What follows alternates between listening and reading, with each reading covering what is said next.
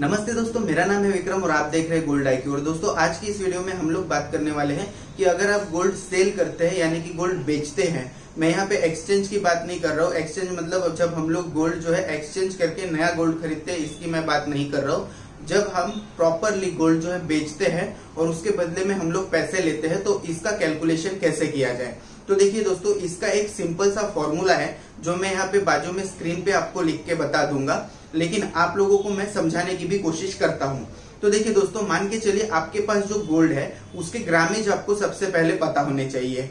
उसके बाद में आज के जो गोल्ड के रेट है, मान के चलिए फोर्टी नाइन थाउज़ेंड जो है आज का गोल्ड का रेट है, और आपके पास दस ग्राम गोल्ड है। तो आप लोगों को क्या करना है, दस gram into forty nine thousand करना है। मतलब दस ग्राम को गुना करना है फोर्टी नाइन थाउज़ेंड से।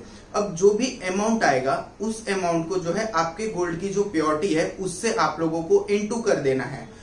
जैसे कि मान के चलिए, आपका गोल्ड है forty nine thousand rupees ten gram ten gram का। लेकिन उसकी प्योरिटी जो है एटी परसेंट है। तो एटी परसेंट को आपको जो है forty nine thousand into eighty percent कर देना है। या फिर आप लोग एक काम और कर सकते हैं forty nine thousand divided by hundred into eighty अगर आपके गोल्ड की प्योरिटी 80 परसेंट है तो इंटू एटी कर सकते हैं 90 है तो 90 कर सकते हैं 92 है तो 92 कर सकते हैं। तो दोस्तों, ये है एक सिंपल सा फॉर्मूला अब इसके बाद में जो है, आपके गोल्ड की जो है वैल्यू निकल के आपके सामने आ जाएगी।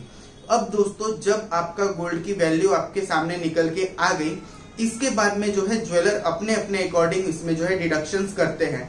कोई थ्री परसेंट करता है, कोई फाइव परसेंट करता है, कोई सेवन परसेंट करता है। अब ये डिडक्शन क्यों करते हैं? क्योंकि देखिए, वो आपका गोल्ड बाई कर रहे हैं, जो कि अभी बिकने वाला नहीं है। उनको या तो उसको मेल्ट करके आपसे बाई करना है, या फिर उसको जो है मेल्ट करने के बाद में फिर से जो है उसका ज्वेलरी बनाना है, उसके बाद में उसको सेल करना है। या फिर उसी गोल्ड को उसको किसी दूसरे को बेचना है। तो इस प्रोसेस में जो है टाइम लग सकता है। इसके लिए जो है ज्वेलर्स इसमें डिडक्शन करते हैं और वो जेनविन है। अब ये हर जगह अलग अलग डिडक्शन होते हैं और जिस हिसाब से ज्वेलर को परवटेगा खरीदना तो वो खरीदेगा। जैसे मान के चलिए हमारे पास कोई चीज़ है, हम उसको सोल्ड आउट करना चाहते हैं, हम लोगों ने उसकी प्राइस ये डिसाइड की हुई है। लेकिन सामने वाला भी अपना एक बार्गेनिंग पावर रखता है कि वो जो है आपसे इतने में खरीद सकता है, जो उसकी कैपेसिटी है। तो आप समझ गए होंगे कि आपको कैलकुलेशन कैसे करना है और जो गोल्ड का जो प्राइस है आपको वो कैसे मिलेगा। तो ये थ्री या फाइव परसेंट डिडक्शन होके आपको प्राइस मिलेगा। अब इसके बाद में आपके पास एक और ऑप्शन होता है दोस्तों, कि आप लोगों को गोल्ड की प्योरिटी भी नहीं पता, उसके ग्रामेज भी नहीं पता। तो आप लोगों को कैसे पता चलेगा कि आपके गोल्ड की एक्चुअल प्राइस क्या है?